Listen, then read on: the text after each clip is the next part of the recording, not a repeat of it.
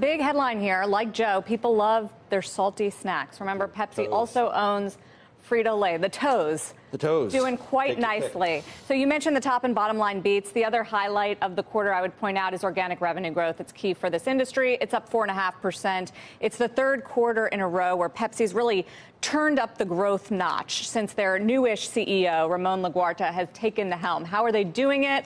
Well, they're reinvesting. They're spending a ton right now on marketing, on streamlining manufacturing, on salespeople on the ground, and that is leading to lower earnings but higher sales growth. The other highlights I would call out from the quarter, just to give you a snapshot of what we consumers are doing right now smaller packages. So pricing was the growth here, and it wasn't that PepsiCo was raising prices on consumers, it's that people who go out to grocery stores are increasingly buying the smaller packages or at least the you know 10 packs or 12 packs of those smaller snacks and as a result Pepsi gets a little more price out of the consumer than a big bag of chips or Frito-Lays. Mm. The other thing I would mention here and by the way that goes for mini cans as well with Pepsi doing very very well. Also Quaker Foods, they own Quaker Oats return to growth, actually having its best quarter in years. Not so much the oatmeal, but some of the other brands under that umbrella, like Aunt Jemima. Turns out if you spend a lot to market, you can get those growth, those brands back to growth. And then the other shout out I'd give is Bubbly.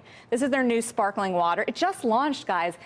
Early 2018, it's really exploded in growth. And I think the only thing you need to do is look at a chart of national beverage, which makes LaCroix, which is basically straight down to show how the big boys, the Pepsis and the Coke, and especially Pepsi with this bubbly and the new flavors, is taking a ton of market share. I asked Hugh Johnston how the economy is doing. They always have a good handle on spending. Internationally, he said, all looking pretty strong. Saudi Arabia was a little soft, but all their key markets, Russia, UK, looking good. And I asked about the U.S., and his word, solid. I said, any signs of recession? He said, not in these results. We'll talk to Hugh Johnston on Squawk on the Street, 9 a.m. hour uh, Vice Chairman, CFO. We're also going to talk to the CEO of General Mills because it's interesting. This Pepsi number was a real standout, not just in consumer staples, but in the overall food space. Food has not been growing. Big companies haven't been adapting. Pepsi has really been an all-star. And Mike, you mentioned the outperformance. It's up 20% this mm-hmm. year. What Double would you, Coke. you saw the Branson interview. What will you call the space space? Will you say space space, or will you come up with a new word for sec? Like you know how you said the, the beverage space. Will you call it a sector, or what about the space space? You can't say the space space. See how that's Space a problem? frontier.